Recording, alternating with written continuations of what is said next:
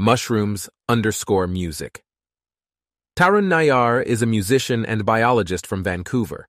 He has a unique talent for creating funky music. He connects the plants to his synthesizer using special cables and measures their biological energy, called bioelectricity. This energy affects the sound of music. Mushrooms contribute to changes in pitch and rhythm, while the synthesizer adds to the overall quality of the sound. Nayar's magic lies in translating small changes in bioelectricity into adjustments of musical notes on the synthesizer.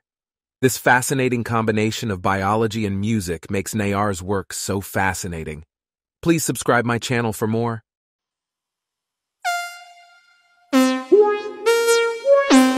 What?